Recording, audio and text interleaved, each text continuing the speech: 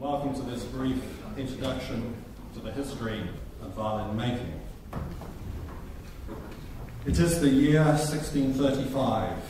The people of Italy are slowly coming to terms with the terrible events of previous years. Famine hit the area in 1628, followed two years later by an outbreak of plague, which had spread from England to Italy, killing almost half the population of Milan, Parma, and Bologna, and bringing the Venetian Republic to its knees. The northern towns of Cremona and Brescia were also grimly affected, and in addition to the devastating cost in lives and ensuing economic turmoil, the historic tradition of violin making was almost lost even before its greatest years.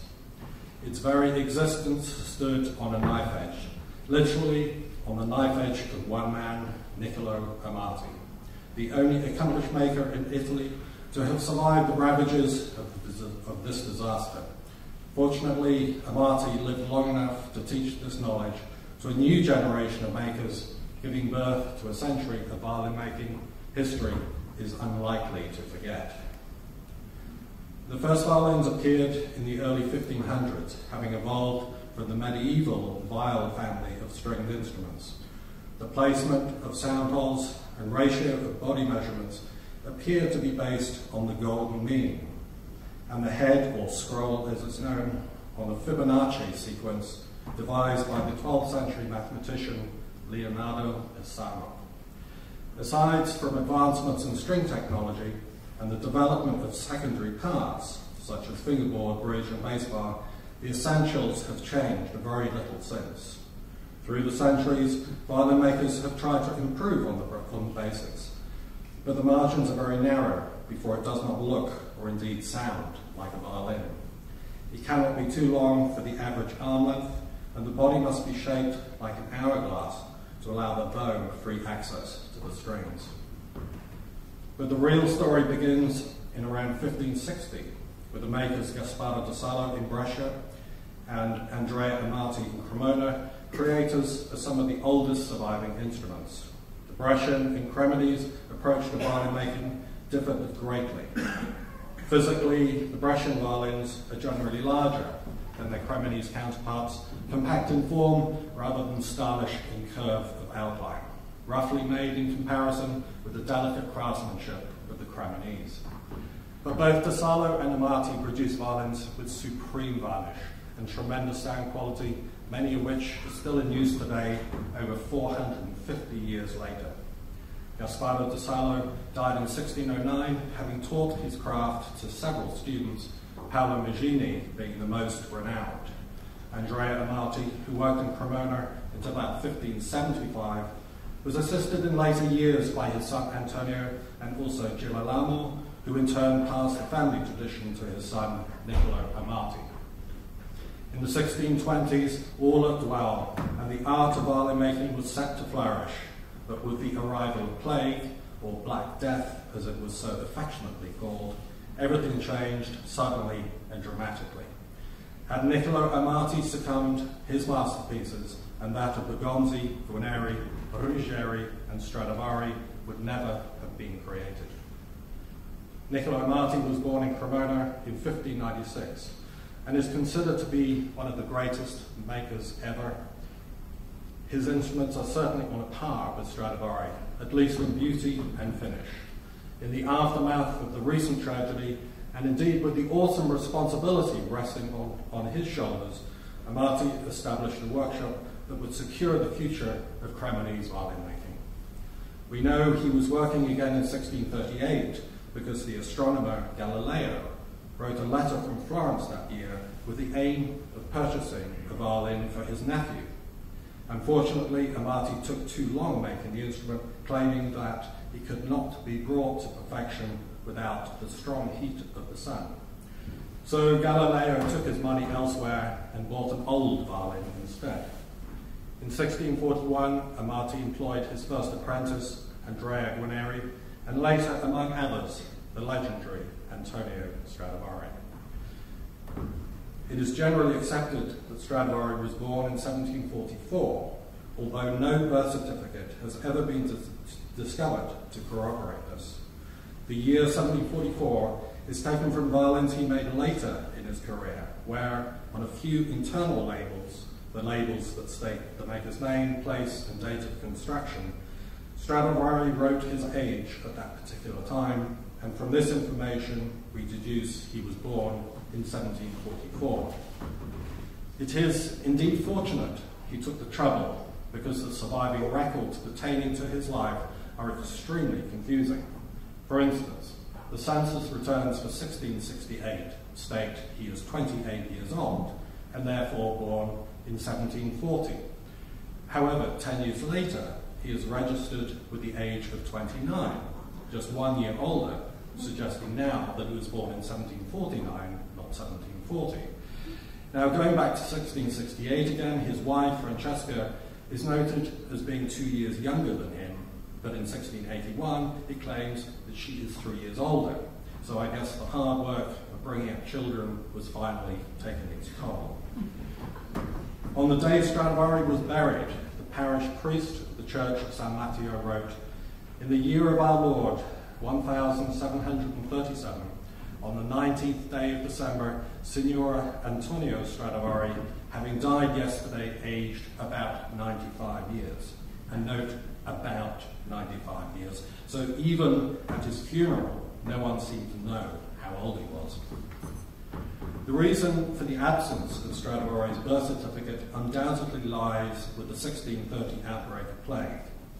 The Cremonese were thrown into turmoil, and two thirds of the, of the inhabitants, including priests and registrars, were forced to leave the city and seek refuge in the surrounding villages and countryside. Only five to ten years later did livelihoods and the local economy return to any sort of order.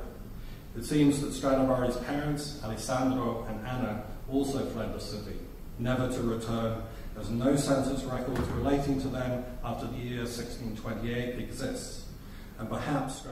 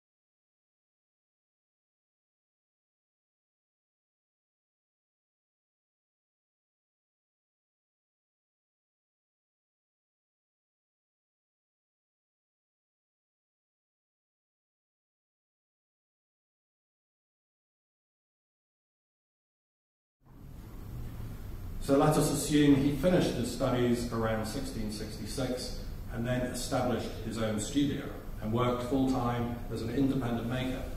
But then we would expect to see a large body of work labelled Antonio Stradivari from this moment on. But between 1666 and 1680, there are only 20 surviving instruments, and even allowing for loss and attrition, the output over these 14 years is extremely low for a full-time maker. The other theory is this. In 1667, Stradivari got married to his first wife and moved into a house owned by the woodcarver and inlayer Francesco Pescaroli, who occupied the ground floor of the house. It is often surmised that Stradivari worked for him as an assistant woodcarver and inlayer, and in his spare time made just one or two instruments a year. An idea supported by two instruments made in 1677 and 79, the so-called Sunrise and Hellier volumes, but a decorated front, back and sides with elaborate inlay of ebony and ivory, an amazing achievement and a skill he probably learned in any case from Pescaroli. We will never know, but there might be another explanation. In the final years of Amati's life, the quality in instruments produced by the Amati workshop never seriously declined. And it's difficult to imagine a man in his 80s sustaining such a level of excellence entirely alone. Besides his son Girolamo, who was not blessed with the artistic powers of his father, the workshop must have employed several accomplished assistants. Certainly Francesco Ruggieri was one, as he was found trying to sell an Amati violin as his own work and was subsequently taken to court in 1685. So looking at all the evidence, I believe Stradivari was simply loyal to the master and worked alongside him until his final demise. And as we therefore might expect, it is only upon Amati, Amati's departure can we count a huge increase in the number of instruments labelled Antonio Stradivari. In 1680, with wife and five children, Stradivari moved into a house on Piazza San Domenico, where he would remain until his death. Niccolo Amati dies in 1684, aged 86, and now with a growing reputation, Stradivari fully embarks on his own career and one that would endure for a further 53 years. For the remaining decade, he continues to build violins based on the Amati model, but with increasing boldness of form, adding strength in both structure and tone. His output increases dramatically. The next six years furnish us with 55 violins and six cellos. Stradivari is now in the prime of life and has reached the, the plenitude of his powers.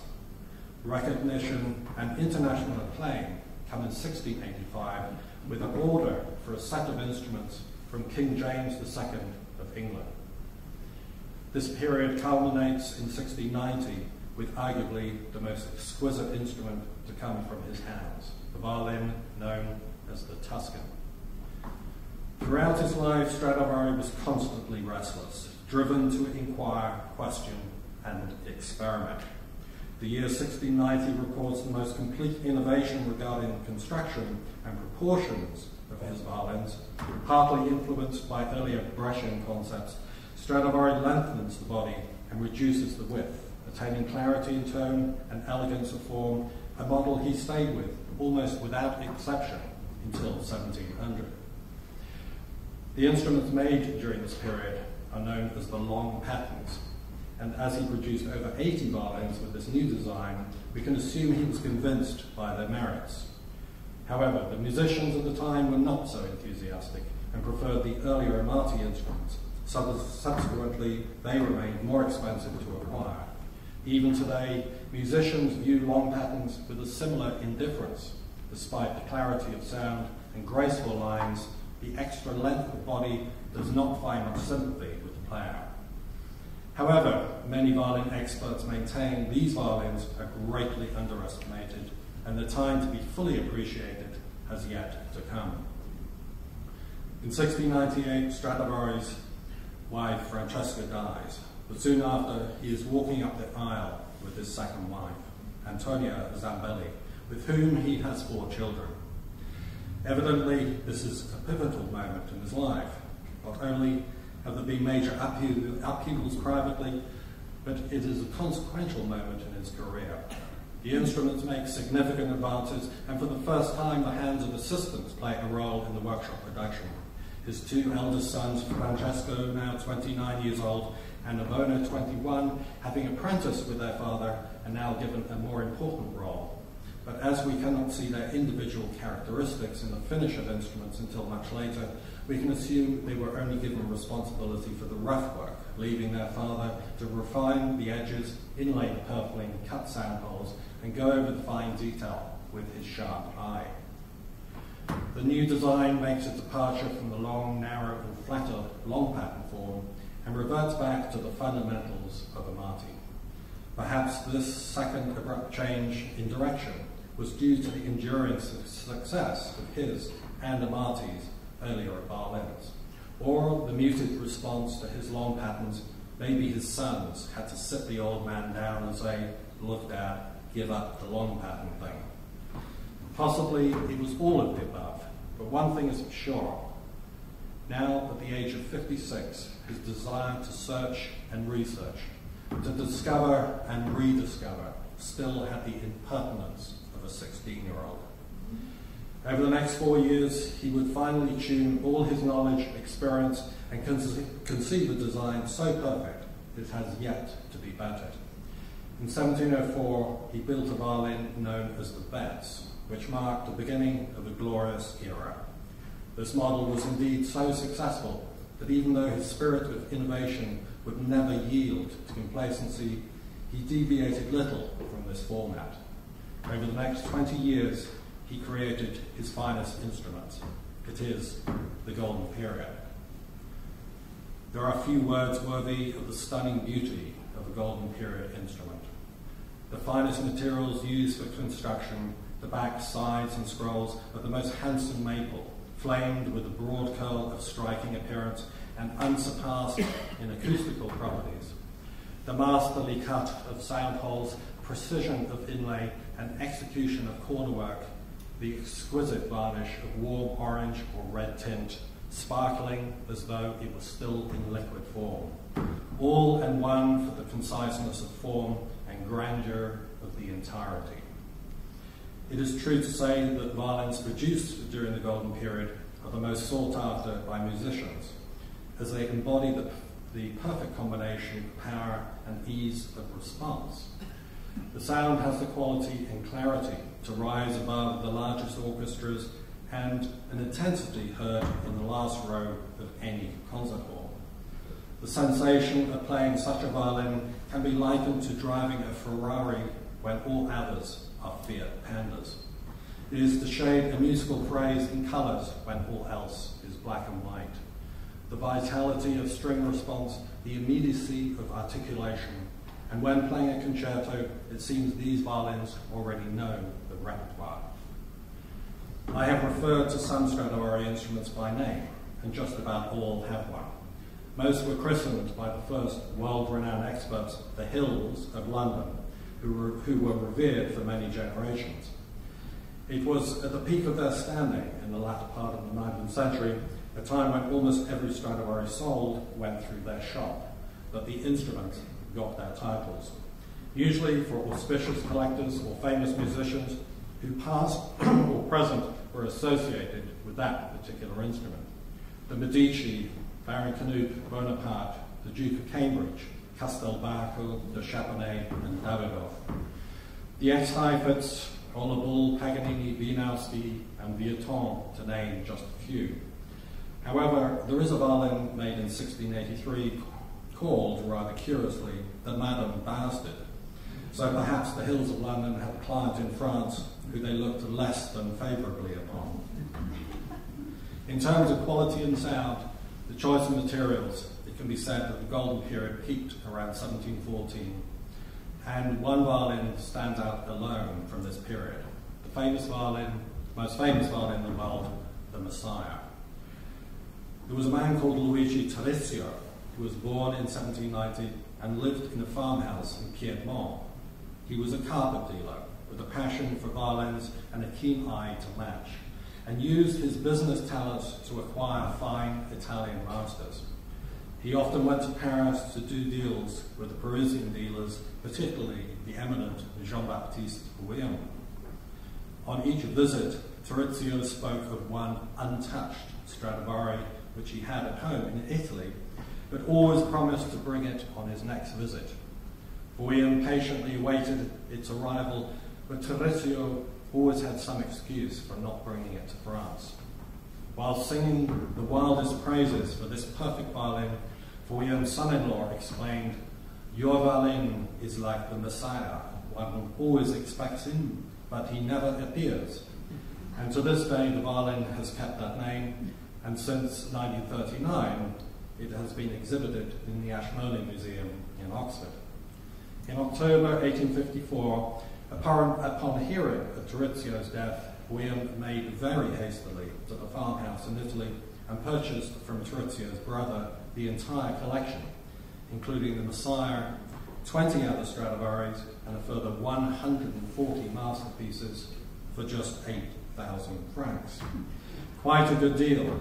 Such a collection today would be worth in the region of 200 million American dollars.